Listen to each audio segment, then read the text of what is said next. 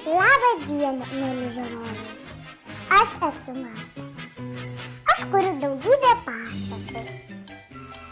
Dar turiu tokį draugą, kuris man padeda kurti visas pasakas. Tai yra Rokis. Rokis man padeda kurti pasakas ir jas vaidinti, režisuoti ir visai man padeda. Be jo pasakų nebūtų šiame pasaulyje. Mano pasakas galite matyti internete sika.lt.